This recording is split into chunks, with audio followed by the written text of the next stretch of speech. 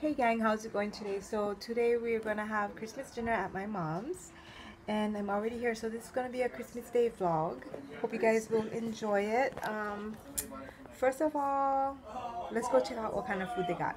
So I know my mom and my dad actually, my dad did all the work mostly and my mom um, he made pot pastele, pateles, whatever you want to call them, and some Spanish rice. So let's go and check that out, okay?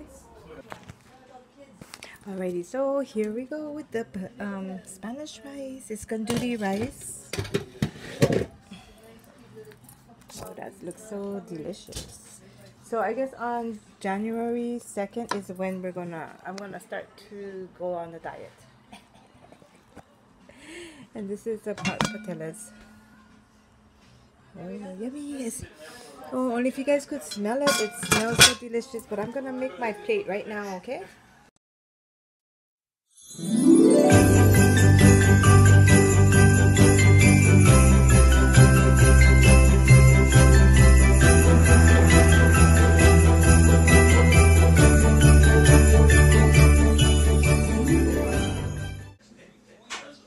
So that's the pateles. It's, it's made in the pot and it's just all together, the banana. So my dad grated the banana then he cooked the meat first and then he threw the banana into the pot. Just like this.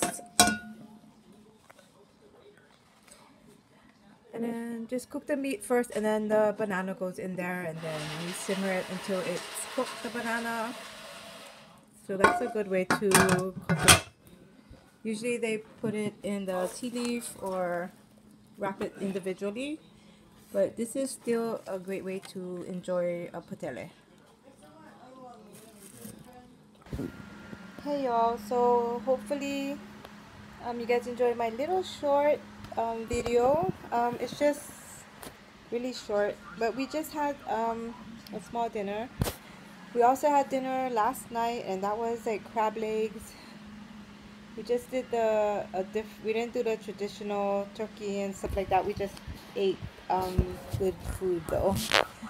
Um, so this video is just to mainly tell you guys Merry Christmas and hope you guys had a wonderful Christmas and be safe out there. And thanks everybody for supporting me and watching my channel and my videos.